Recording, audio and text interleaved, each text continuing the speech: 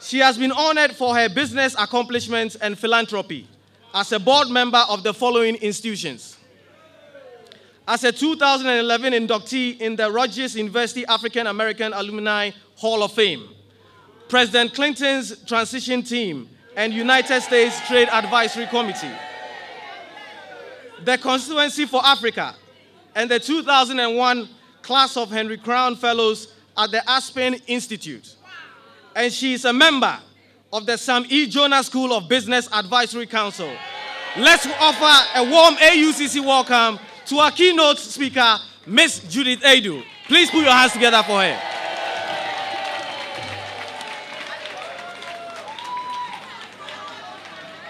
Thank you, thank you very much. Good morning. This is a very energetic bunch, so before I start my formal remarks, I want to give you a chance to let out some of that energy. I want you to clap for yourselves, for your families, for your professors, for the head table here. An amazing accomplishment. The 10th graduating class of AUCC is not a small thing, so I acknowledge you. Uh, thank you for this honor. I've had many opportunities in my life, but I think this is the first time I've ever spoken at a college graduation. So I am honored and humbled to be here today. And I thank Honorable Kojo Yankah and all the dignitaries here, all protocols observed. Um, it's beautiful to see you all. And I don't know, because of all of your excitement, if you were able to hear some of the comments that were made earlier, both by Honorable Kojo Yankah, by Professor Armah, by the young lady who spoke, who's nine years ahead of you all, there were some tidbits in there that if you can, even just for a few minutes, try and glean, since you're spending the time before you receive your diplomas, try and glean something from this time. The last little bit, right? Glean, yeah? You like that word? I'm a wordsmith, so I like words. I'm a lawyer. And I should mention, in, in terms of seniority, I'm a year ahead of Michelle Obama, the uh, First Lady of the United States at Harvard Law School. And uh, it is amazing to me what can happen in 30 years. It doesn't seem like, well, I graduated in 1987 from Harvard Law School, but I graduated from college in 1984. 30 years. Some of you are not 30 in this room or in this gathering. I think most of you are not 30. So it's amazing to me what can actually happen in 30 years. So I want to just share a few quick thoughts with you. I know it's been a, a long morning, and I want you to, I just want to share with you just a quick, quick number of thoughts. So first thing is perspective is everything. What you see and appreciate depends so much on where you stand in the world. And where you stand and what you stand for and who you stand with are all the choices that are going to be critical to your success going forward not only for you, but actually for Ghana and Africa and the world. So I want you to really think seriously about that. Who are you? Where do you stand? What do you stand for?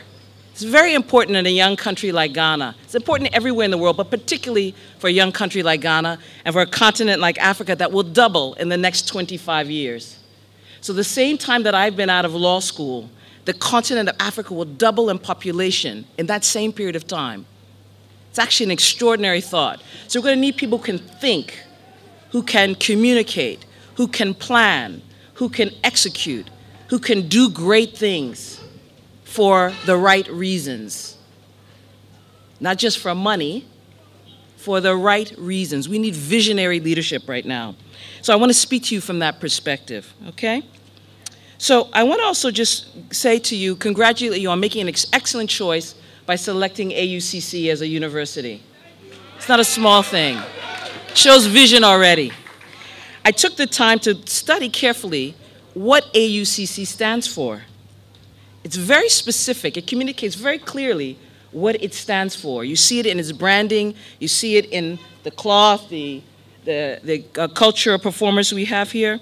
Uh, and the entire event, we see it. It's alive. It's not just words, it's alive. So, first thing it says is committed to the pursuit of excellence. We've heard it mentioned before today, I mean, uh, many times today. It's committed to critical and independent thinking. This is for, for media people and business people. If you're not an independent thinker, I don't know how you're going to make a difference. And if you're not going to make a difference, why are you doing the work? Very important. Creativity and innovation. We're gonna, we don't, nobody knows how to have the population of Africa double in our lifetimes, 25 years. Nobody knows how to provide for that.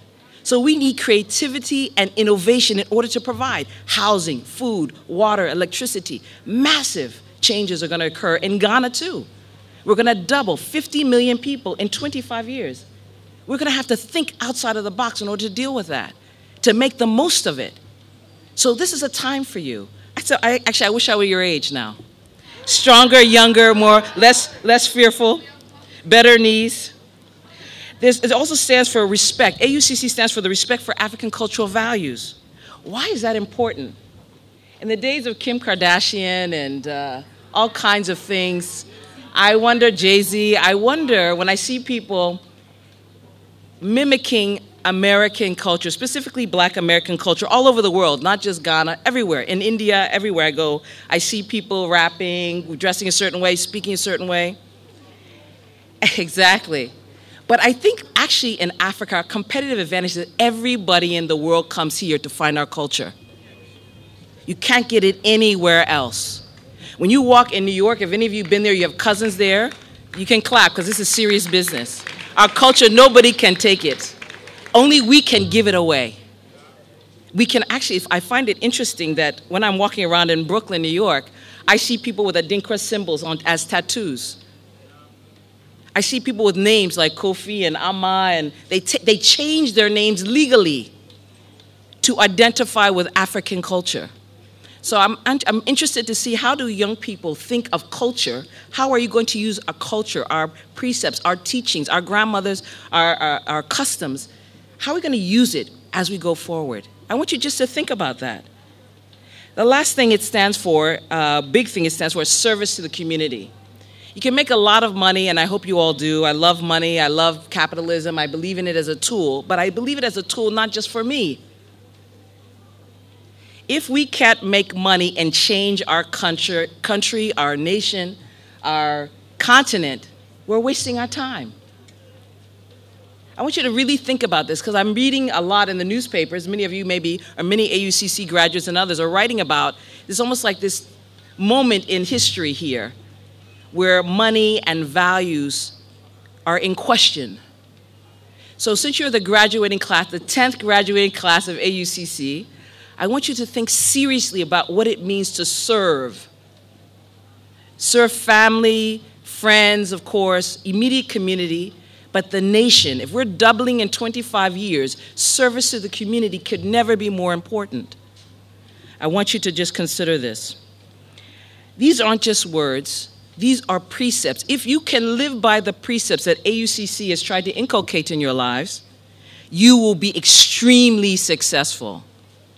I'm willing to bet you, I'm actually willing to guarantee you this.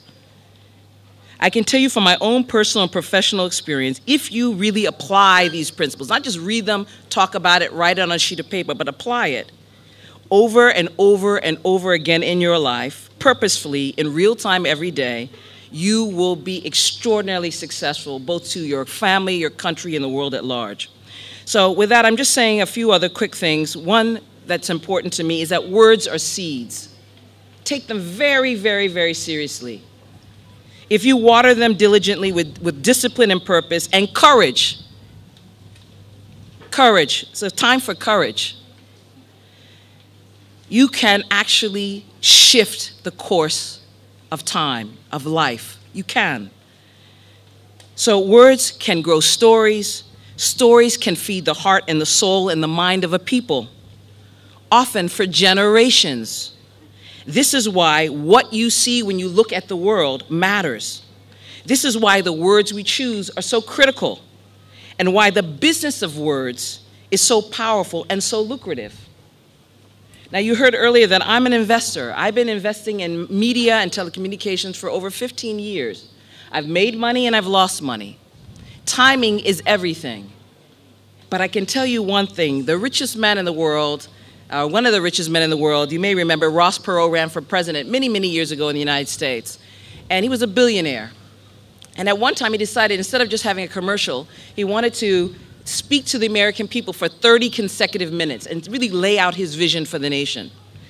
And he, most people didn't want to take his money, but CNN, then a fledgling institution, said it would take its, his money.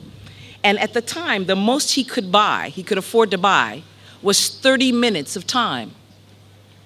So that got me thinking if one of the richest men in America wants to run for public office and can only afford to pay 30 minutes of time, what's more powerful, money or media?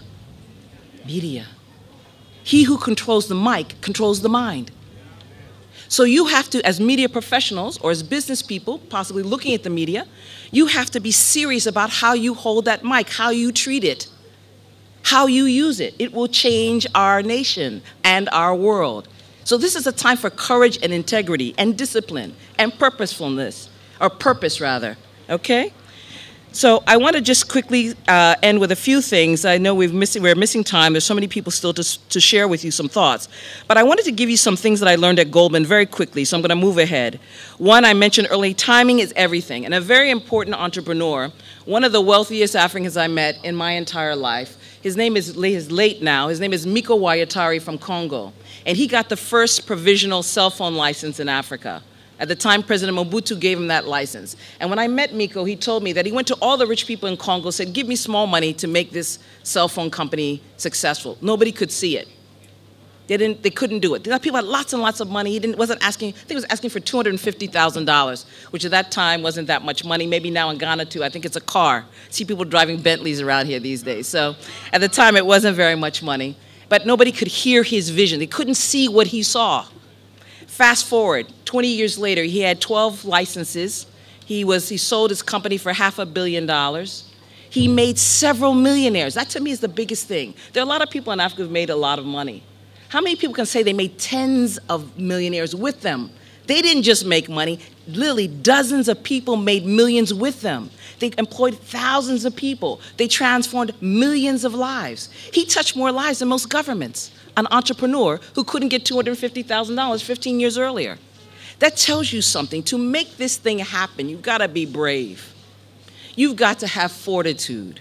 You have to have perseverance. You have to have a vision that no matter what anybody says, you're going to go forward, even if it's step by bloody step. Very serious. Very, very serious time. The second thing I want to talk about is this issue of uh, proactivity and acting creatively with information. Again, when you read the newspaper, what are you seeing? Are you entertained? Are you informed? Are you thinking about business? Are you talking about changing the world? What are you doing? When you, I want to mention another issue, this issue of building and maintaining relationships. Some of the relationships you formed here at school are going to be critical to you going forward. I talk to many people that literally that I know from school from over 30 years ago. They helped me today. They are the people that are in leadership today. And by the way, I didn't mention that I went to Wesley Girls High School. So that to me, I take it very seriously. Thank you very much. I believe in Wesley Girls High School. Everything that I, I think the greatest education I got was from Wesley Girls, not from Harvard. I studied the hardest at Wesley Girls. I think it was the most competitive intellectually. The people were serious, we had vision, and we wanted to be excellent. I still depend on those relationships today, and my sisters from Wesley Girls have been very helpful to me during my life, both personal and professional life. I want to just uh, say one other thing here, and that is this issue of short-term greedy versus long-term greedy. At Goldman, they had, a, they had a phrase. Goldman is an investment bank, meaning they make money from money. We take money, we provide advice, and we help people solve problems. What they told me is that the bigger the problem you can solve, the more money you can make. So people can small, solve small problems, make a little bit of money. People can solve medium-sized problems, can make a medium amount of money. And people can solve very large problems, can make lots and lots and lots of money. So learn to solve big problems. We have to change the way we operate.